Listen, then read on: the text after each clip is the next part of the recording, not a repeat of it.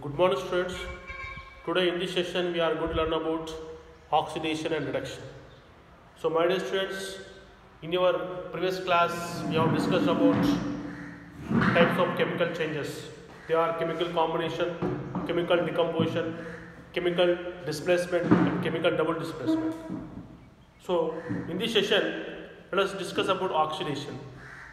So my dear students, oxidation means Oxidation is a reaction that involves the addition of oxygen, addition of oxygen or removal of hydrogen. So what is reduction means what? Reduction means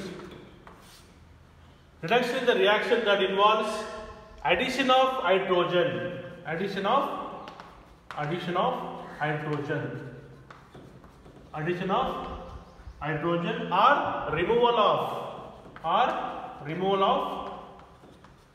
Removal of? Oxygen. Removal of oxygen. Are called reduction.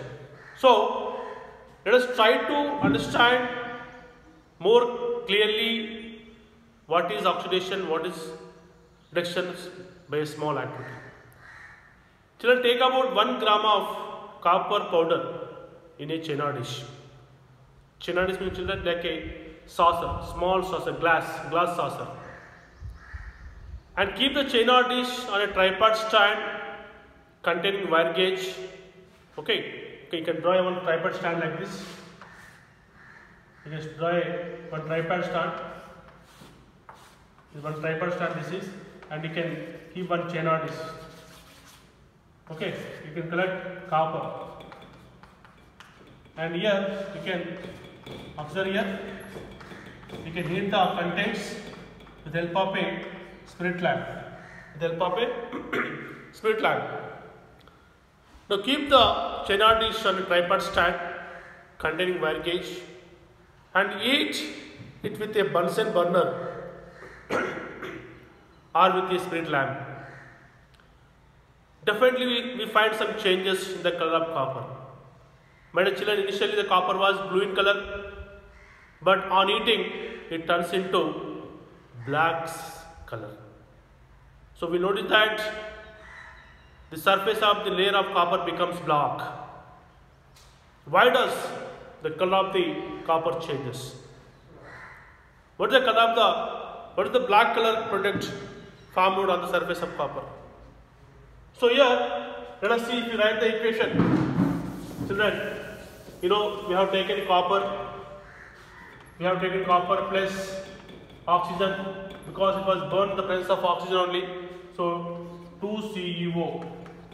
2CuO is a black colored substance, black colored copper oxide. Copper oxide is formed. Here we are adding oxygen. Oxygen is added. Copper reacts with oxygen. When it was burned, reacts with oxygen and forms copper oxide that is a black color copper oxide. So here on heating, you can write on heating. Here oxygen is added. Oxygen is added. So it is called as oxidation reaction. Oxidation reaction. Now here copper combines with oxygen to form copper oxide. Here oxygen is gained. Oxygen is gained and the process called oxidation. Gained or added, both are same. Okay, so here copper combines with oxygen to form copper oxide. Here oxygen is gained and the process called as oxidation. Now, if you pass hydrogen gas over hot copper oxide, now for example, see copper oxide is there, CuO plus passing hydrogen gas. If you pass hydrogen gas over hot copper oxide obtained in the above activity and observe the changes. What changes will take place here? So here simple children. 2CuO 2Cu plus H2O 2Cu plus H2O will form so this is also uh, on passing hydrogen gas. On passing H2 gas. Okay copper copper and what and and water copper and what is formed when the hydrogen gas passes to the copper oxide. So when what do you what do you observe? What do you observe, my children? So when copper oxide Cu plus H2O, if you do not write this also no problem. Cu plus H2O, copper oxide plus hydrogen gas. So here addition of hydrogen and removal of we are removing oxygen from here. Removal of oxygen. Removal of oxygen or addition of hydrogen and this is called reduction. This is called reduction. So you will notice that the black coating on copper turns brown because copper oxide loses oxygen to form copper. In this process oxygen is lost and the process called reduction. So in this reaction hydrogen is gained. In this reaction hydrogen is gained. So this is called as reduction. It's called as reduction. So generally oxidation and reduction especially occur the same reaction. So if one reactant gets oxidized, the other gets reduced.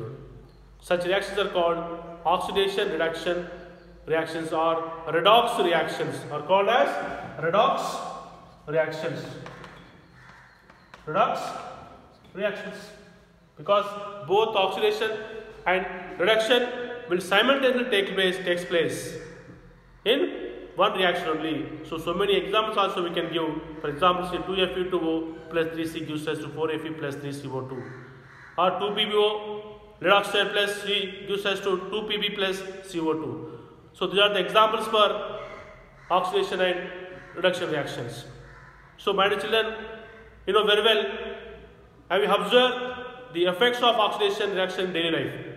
What are the effect, effects of oxidation in our daily life? First effect is corrosion. C O R R O S I O N. Corrosion. So corrosion means corrosion means generally children. You know, suppose it is common experience. You might have observed that a freshly cut apple turns brown after some time. If you cut a apple and after some time you can observe the surface of the apple become brown or the shining of iron particles gradually become reddish brown when left for some time. Burning of crackers produce dazzling light with, with white flame fumes. So this all takes place because of oxidation only. Because of oxidation, they absorb oxygen. Generally, when iron particles are exposed into the atmosphere, exposed in the atmosphere, after few days, or after one month or two months, if you observe the nanoparticles, you can observe formation of reddish brown color on the surface of the nanoparticle. That is nothing but formation of iron oxide. Rust is called as rust because of reaction with reaction with oxygen. Because of reaction with the oxygen. When react with oxygen, it produce oxides. So these changes occurs they all, they're all the example of the process called oxidation. And oxidation is the reaction of oxygen molecule different substances starting from the metal to living tissue which may come in contact with it. Generally, medicinal apples, pears, bananas, potatoes, etc. contain enzymes called polyphenol oxidase or tyrosinase which reacts with oxygen and changes the color on the cut surface of the fruits. The browning of iron when left for some time in moist air is a process common known as rusting of iron. And this process is basically oxidation reaction which requires both oxygen and water. Rusting does not occur in oxygen free water or dry air. So for rusting it requires both oxygen as well as water. So burning of crackers is also oxidation process.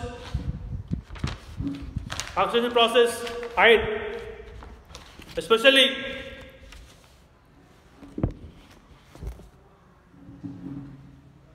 burning of crackers is also oxidation process of variety of chemicals like magnesium and sulfur.